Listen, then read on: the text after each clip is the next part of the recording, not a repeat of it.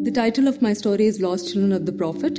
What we explored in the story was that these children are getting exploited inside the madrasa compounds. They are made to work for more than 12 to 16 hours a day.